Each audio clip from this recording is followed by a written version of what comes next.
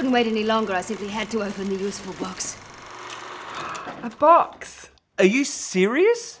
What do we have here? Oh, Craft. craft.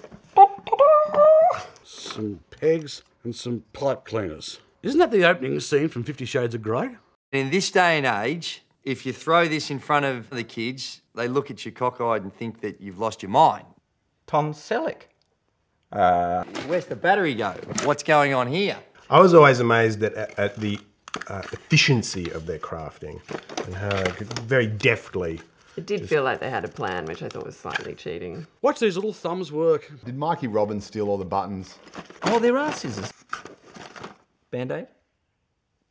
I'm kidding. I cannot craft without sticking my tongue out. Tiny crown. Hello, little Claire. Hello. It could be a sea creature, as we're going. When in this- doubt, make it into a sea creature. Make- I present you with Spider Frog.